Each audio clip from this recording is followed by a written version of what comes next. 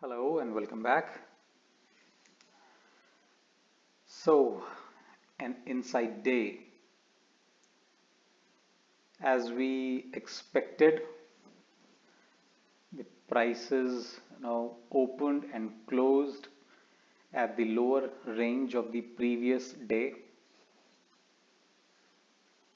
Hmm, uh, although we are still in an uptrend, but uh, you know, an inside day after you know, uh, sort of selling day like this is, you know, it's it's bearish. Why it's bearish? Because you know, uh, when this day was forming yesterday, you know, we have seen that at the end of the day, you know, the buyers did stepped up and some buying came and, you know, which, you know, closed the prices to, you know, 50% of the bar, which means that, you know, near the support area, buyers did came up and, you know, some buying interest was there. Now after this selling day, we have an inside day, a narrow range bar, uh, you know, which means that all the buying which we have seen yesterday was kind of negated. Uh, that being said, uh, you know, if this candle closed at its low or you know it has taken out the low of the previous day I would be you know more bearish than you know what you know it did today. So uh, now before we go ahead and uh, you know analyze uh, the, the daily chart and you know build some scenario for tomorrow let's see what has happened in the you know intraday charts what has you know how the day panned out uh, today. So uh, if you remember I, I mentioned uh, in the last video that uh, you know, there could be a couple of scenarios. One would be that prices will gap up and open here and they you know the selling will start and they will come down. The other one could be that prices will open at the lower uh, and and you know they will stabilize and then we can go long at the appropriate pattern right? When all the time frames including the daily will you know uh, come in the alignment. Now if you haven't seen that last video I will give the link uh, somewhere at the end of this video. You will go and you can watch it.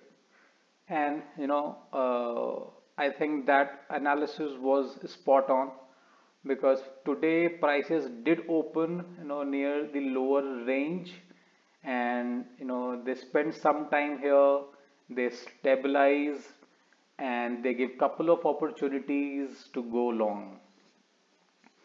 Now uh, what are those opportunities? What are those you know areas where we can you know take the long position? Now in this five minute chart uh, five minute is you know my uh, favorite uh, intraday time frame where I you know usually take the position. Uh, so here if you can see I have marked this green arrow. And this was the first bar where you know we could have gone long. Now you may ask that why this bar? Because you know when this bar was formed we have falling 50 and 20 MAs and those MAs you know uh, they show you know the uh, downtrend. Well the answer is yes. Then why should we go long here? So the first reason is uh, if you can see when prices came here they came here and stabilized you know they came here you know at the at the location where you know the price is stabilized previously you know so when this bar formed it has you know created a support area here and if you can see this bar it closed at its high and which means that it formed a wide range bullish bar. Now where we can go you know, long, where could the entry, where could we can take the entry? Uh, the place would be you know uh, above this bar. So this was the first opportunity where we could have gone long. Then we have the second opportunity which was here now why here because this bar has you know taken out the highs so this was a breakout bar. And it has you know it closed at its high. It has taken out. It has cleared all the resistance area. This was the second opportunity. Then we have the late day third opportunity which was here. Now, uh, this pattern is called as bullish 180 reversal, which means that this bar has completely taken out this red bar and you know from there the prices have gone up. Now, most of the time uh, when a signal bar generates, we can take the entry above the signal bar.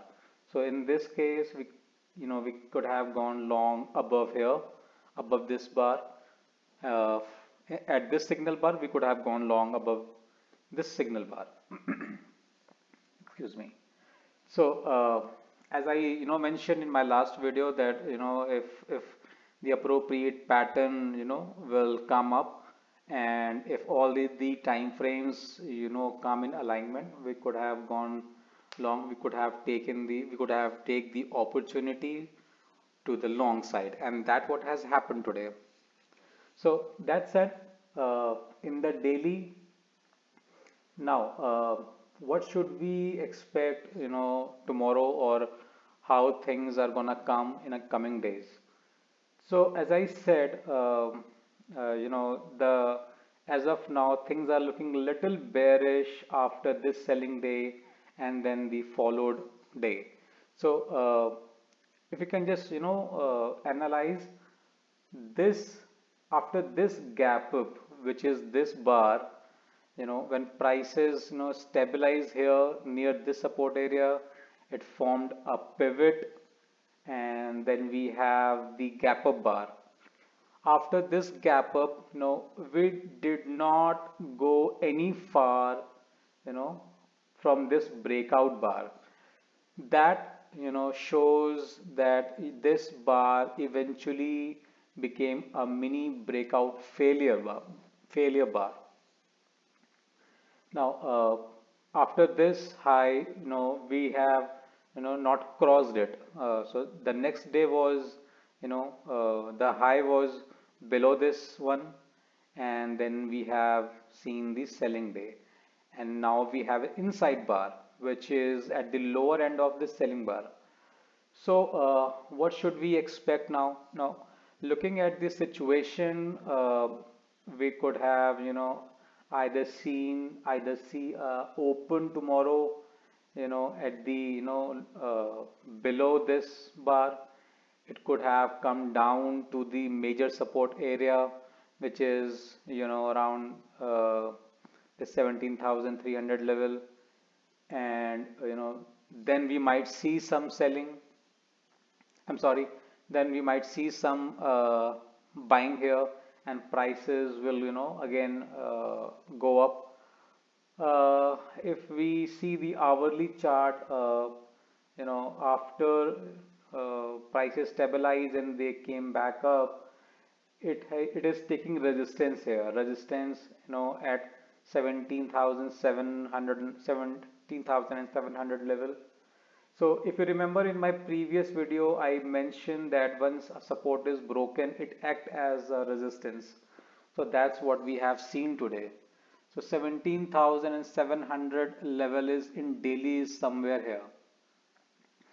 So uh, as of now, it looks that, you know, prices either you know could open at the low at the lower range and might come down to the support and then we might see some buying or if you know it will uh, open and you know take out the high of this inside range and you know close somewhere above that would mean that you know all this selling has been negated and then we can again you know think of going long.